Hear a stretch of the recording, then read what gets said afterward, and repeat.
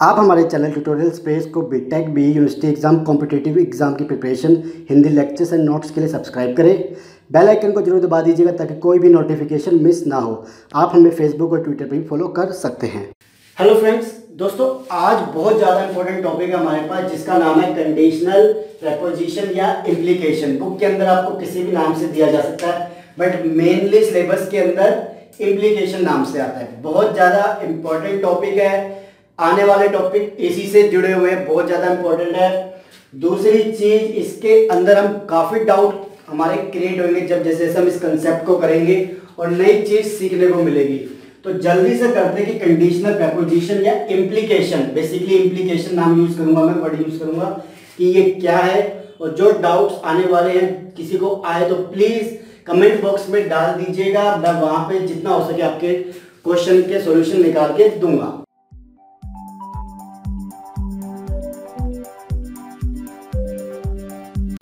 दोस्तों, बात आ गई है इम्प्लीकेशन क्या है, किस तरीके के सेंटेंस है। देखिए, हमारे पास सेंटेंस आता है कि इफ़ पी देन क्यों? मैं ये कहता हूँ कि अगर ये चीज़ हुई तो ये चीज़ होगी ही होगी। बात समझिए, अगर ये चीज़ हुई तो ये चीज़ होगी ही होगी। मतलब अगर पी हुआ देन क्यों होगा ही होगा? ये ये कहना चाहता है। बात समझे? नहीं समझे तो एक मिनट वीडियो को पॉज करो, मैं आपसे एक चीज़ पूछता हूँ, जो मैंने क्या कहा कि इफ़ पी देन क्यों? अगर पी होता है तो क्यों होगा ही होगा। क्या इसका मतलब ये है कि अगर पी नहीं हुआ इन केस पी फॉल्स हो गया तो क्या क्यों नहीं होगा? सोचिए। बिल्कुल होगा जी, हो सकता है, क्यों नहीं हो सकता? एक दो लाइनें ले लेते हैं, जैसे राहुल गांधी जी ने आज न्यूज़ सुन रहा था मैं तो राहुल गांधी जी ने कहा कि अगर मैं देश का प्रधानमंत्री बना तो औरतों को क्या है, हर जगह राइट मिलेंगे। राज्यसभा, लोकसभा में आरक्षण या जो ऊँची ऊँची पोस्ट है, वहाँ पे उनका रिजर्वेशन मिलेगा। समझे? मतलब क्या कह रहे हैं कि अगर प्रधानमंत्री बना, पी लाइन क्या होगी कि अगर राहुल गांधी जी प्रधानमंत्री बने देन क्यों क्या होगा? तो औरतों को सम्मान मतलब रजिस्ट्रे जो भी उनका आरक्षण है, लंबी बड़ी बड़ी पोस्टों पे वो होगा ही होगा। बट एक चीज़ देखिए, क्या ये कह रहे हैं कि अगर मैं प्रधानमंत्री नहीं बना तो क्या उनको मतलब आरक्षण नहीं मिलेगा या बड़ी बड़ी पोस्टों पे उनको रिजर्वेशन नहीं मिलेगा? ऐसा तो कुछ नहीं कह रहे। भाई तो यहाँ पे यही गलती बच्चे कर देते हैं, जब क्वेश्चन आता है तो इसका मीनिंग समझ के चले कि इफ़ पी देन क्यू का मतलब कि अगर पी हुआ तो क्यों होगा ही होगा। बट इसका मतलब ये नहीं है कि अगर पी नहीं हुआ तो क्यों नहीं होगा? इस चीज़ को प्लीज़ माइंड में डाल लीजिएगा। अब टॉपिक को स्टार्ट करते हैं।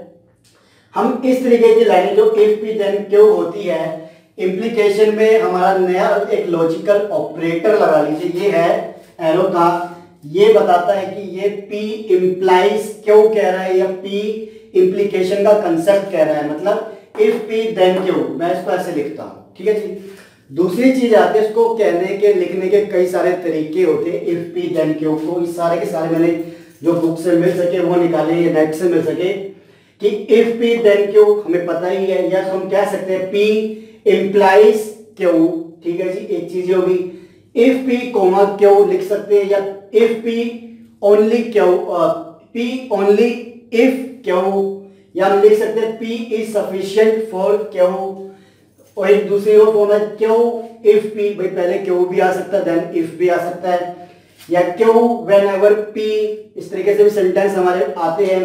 या क्यों अनलेस ये नॉट का साइन है, दोस्तों, इसको देख लीजिए एक बार। ये इस तरीके से नॉट का साइन बनता है।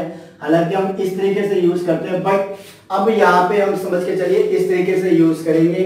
सेवन लगा लीजिए, कुछ भी लगा लीजिए। ठीक है? तो नॉट पी लिखा है कि क्यों अनलेस नॉट पी कुछ अभी एग्जांपल करेंगे तब आपको पता चलेगा। अब या क्यों वन पी या क्यों इज़ नेसेसरी फॉर पी ये काफ़ी तरीके से क्वेश्चन आ सकता है तो उसका मतलब क्या है, वो आपसे यही कंसेप्ट पूछ रहा है। अब ये कहता है एक चीज़ कि अगर पी ट्रू हो जाए ट्रुथ टेबल की बात कर रहे हैं, अगर पी ट्रू हो जाए और क्यों फॉल्स हो जाए, भाई, राहुल गांधी जी प्रधानमंत्री बन गए और फिर भी औरतों को आरक्षण, सम्मान बड़ी बड़ी पोस्टों पे रिजर्वेशन नहीं मिला। तो उनकी जो बात थी कि मैं प्रधानमंत्री बना तो औरतों को ये मिलेगा, वो मिलेगा। गलत हो जाएगी वाक्य में हो जाएगी जी, बिल्कुल हो जाएगी तो क्या होगा? ये मेरा टोटली क्या हो जाएगा भाई? फॉल्स हो जाएगा। इस तरीके से क्या हुआ? राहुल गांधी जी ने वहाँ पे झूठ बोला। हम ये कह सकते हैं। दूसरी चीज़ ये देखिए, अगर राहुल गांधी जी नहीं बने प्रधानमंत्री, ठीक है जी, और औरतों को आरक्षण रिजर्वेशन भी नहीं मिला। तब ये इस कंडीशन में जो बात कह रहे थे, क्या वो ट्रू होगी? सोचिए। बिल्कुल जी, ये हमारी ट्रू होगी, क्योंकि उन्होंने बात करी थी, क्या मैं बना तो। अगर कोई दूसरा बना तो मुझे कोई मतलब नहीं, फिर तो चाहे दुनिया पहाड़ में जाए। समझे? मैं बना तो मैं करके दूँगा, जब वो बने ही नहीं, और किसी को चाहे फिर मिले या ना मिले को कोई नहीं फ़र्क पड़ता, उनकी बात तो तब भी सही रहेगी ही। जैसे एक एग्जांपल और ले लेता हूँ आपके लिए। पी एक स्टेटमेंट लेता हूँ मैं यहाँ पे कि Ram goes to school daily ठीक है जी? एक स्टेटमेंट ले ली मैंने, Ram will get good marks ये दो स्टेटमेंट आ गई। अब मुझे इसको ऐसे लिखना है। पी एरो क्यू लगा के। ये क्या बनेगी मेरे पास? पहले लिखा मैंने if if Ram goes to school then he will get good marks ठीक है जी? ये लाइन बनती है। अब बनाते हैं ट्रुथ टेबल जो वो कह कह रहा था कि अगर मैं मैं प्रधानमंत्री बना और उसके बावजूद नहीं मिली तो भाई, वो क्या कहते हैं, झूठा हो गया। कहते तू तो जैसे नेताओं बोलते ना आगे क्या कहते हैं, वादे करते हैं, मैं ये कर दूँगा, मैं वो कर दूँगा, उसके बाद नहीं करते तो वहाँ पे उनकी बात क्या होती है, गलत मतलब को झूठा बोला जाता है। वही कंसेप्ट ये है कि मैं बना तो ये कर दूँगा, मैं नहीं बना तो तुम बाढ़ में जाओ, मुझे क्या मतलब? सीधा सा कंसेप्ट है, इसको समझ के चलिए। पी क्यों के लिए लेना है? ट्रूथ ट्रूथ फॉल्स फॉल्स जो डाउट हो, हाथ के हाथ लिख लो कमेंट बॉक्स में डालना शुरू कर लो। कंसेप्ट को समझो पहले।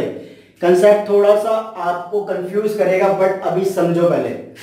पी के लिए वैल्यू आ गई, इसके लिए ट्रू ये फॉल्स ये ट्रू ये फॉल्स ठीक है जी? ये कहता है कि तुम्हें पी क्यों इफ़ पी देन क्यों निकालना है? मेरे पास इन्होंने ये कहा कि अगर ट्रू फॉल्स है तभी मैं झूठा हूँ, बाकी मैं हर जगह सच्चा हूँ, भाई। ठीक है? इसको अभी पकड़ते हैं यहाँ से। ठीक है? ये मेरे पास लाइनें थी, इसे प्रूव करते कि इस कंडीशन में ट्रू क्यों आ रहा है, इस कंडीशन में फॉल्स क्यों आ रहा है? इस कंडीशन में ये ट्रू और दोनों फॉल्स हो तो ये ट्रू क्यों आ रहा है? Ram goes to school daily Ram will get good marks ठीक है? दोनों ट्रू होते हैं तो मेरी बात ठीक हो गई। बाकी में होगी, इसमें तो कोई डाउट ही नहीं थी भाई। अगर स्कूल डेली जाएगा तो मैंने कहा था, भाई तू अच्छे नंबर लाएगा और तू ले आया। मेरी बात ठीक हो गई। अब आता है ट्रू और फॉल्स पी को रखो ट्रू कि Ram goes to school daily अब आया मेरे पास फॉल्स कि if Ram goes to school daily but क्या लिखा? बट या then he will not get good marks but एक चीज़ बताइए बट तो यूज़ नहीं करेंगे एंड का कंसेप्ट है।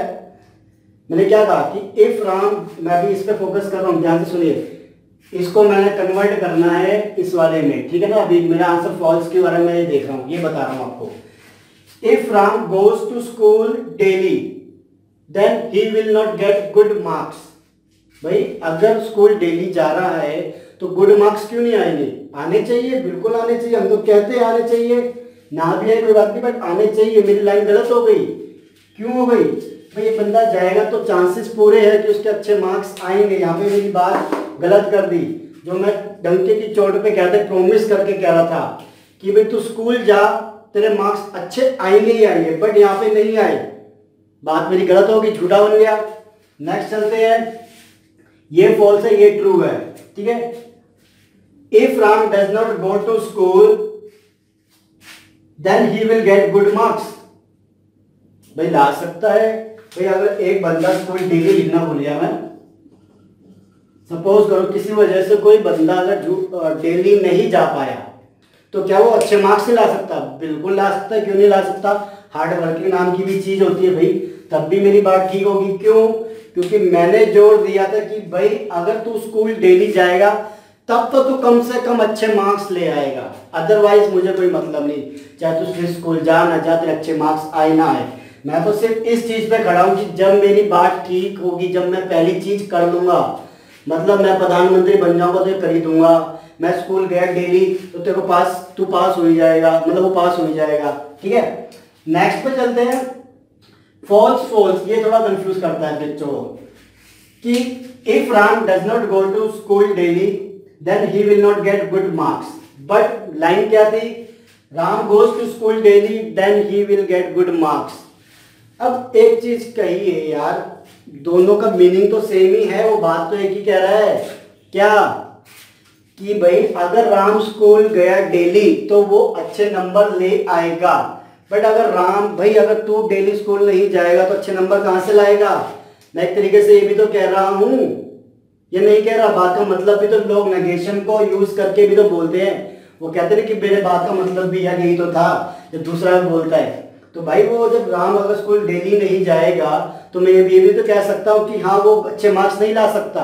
बिल्कुल, ये बात बिल्कुल सही है लेकिन कि अगर दोनों लाइन अगर फॉल्स कर दूँ मैं, झूठी कर दूँ, कि राम स्कूल डेली भी नहीं जा पा रहा, और वो अच्छे मार्क्स भी नहीं ला पा रहा तो वो सही कह रहा है पहली लाइन तो ये मेरा यहाँ पे क्या होगा ट्रू होगा। लोग यहाँ पे क्या होते हैं फॉल्स ले लेते हैं। बट इस चीज़ पर थोड़ा ध्यान रखिएगा, और इस वाले पे, क्योंकि सिर्फ़ एक सिंगल कंडीशन में ही ये फॉल्स होता है। ठीक है?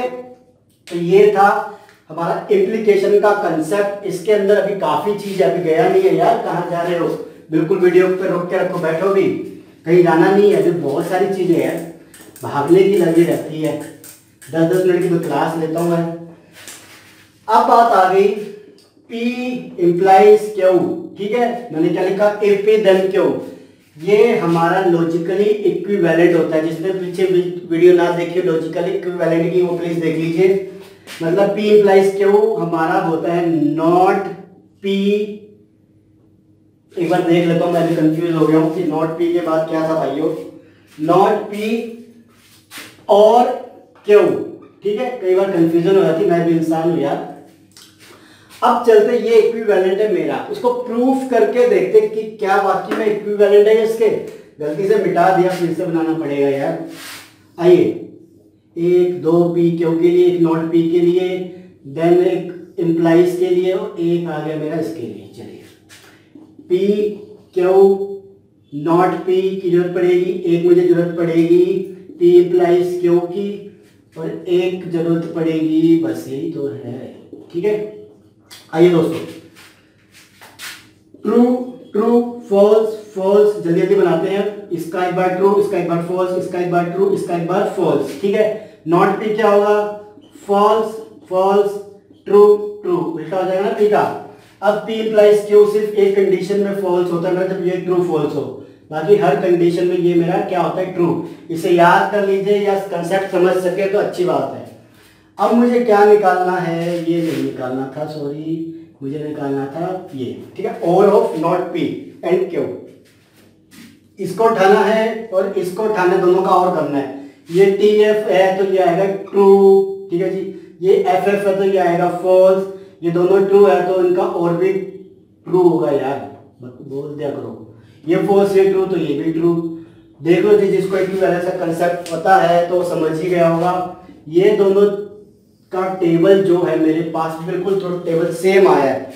True true false false true true true true तो ये क्या हो गया? जो ये कहानी बताई गई थी या कंसेप्ट दिया गया था कि ये इसके इक्विवेलेंट है, ये इनका ट्रू होता है।